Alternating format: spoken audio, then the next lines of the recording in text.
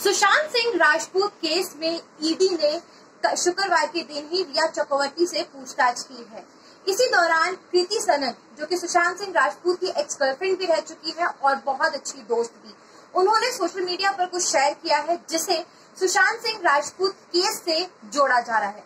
नमस्कार, मैं हूँ ठाकुर और आप देख रहे हैं बॉलीवुड हेडलाइंस कृति सनन, सुशांत सिंह राजपूत की काफ़ी अच्छी दोस्त रह चुकी है और चौदह जून से लेकर अब तक अगर मैं बात करूँ तो कृति सनन ने बहुत बार सुशांत सिंह राजपूत के लिए सोशल मीडिया पर पोस्ट किया है और इससे पहले भी सुशांत सिंह की और कृति सनन की जो दोस्ती है वो बरकरार रही है।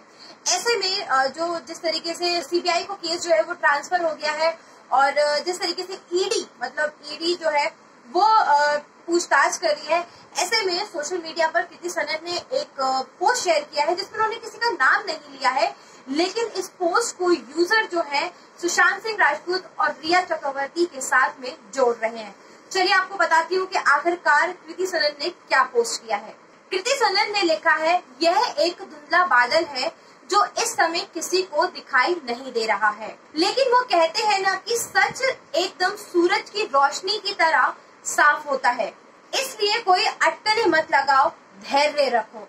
यानी कि सुशांत सिंह राजपूत का जो सच है जो उनके साथ में हुआ है, वो बहुत जल्दी सामने आएगा।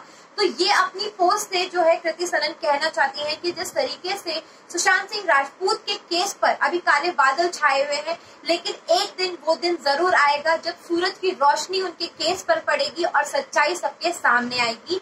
और इसीलिए वो हम सभी को, यानी कि सुशांत सिंह राजपूत के फैंस को और उनकी फैमिली को हर किसी को धैर्य रखने के लिए कह रही है। क्या कहना चाहेंगे आप लोग? कमेंट सेक्शन में अपनी राय ज़रूर रखेगा अभी के लिए इतना ही, बने रहिए चैनल के साथ बॉलीवुड हेडलाइंस में।